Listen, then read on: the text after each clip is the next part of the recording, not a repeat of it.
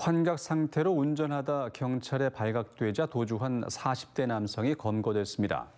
춘천경찰서는 특수공무집행 방해와 유해 화학물질 관리법 위반 혐의로 40대 남성을 검거해 조사 중입니다. 해당 남성은 어젯밤 9시 30분쯤 춘천시 후평동 하나로마트 인근 도로에서 환각 상태로 운전한 혐의를 받고 있습니다.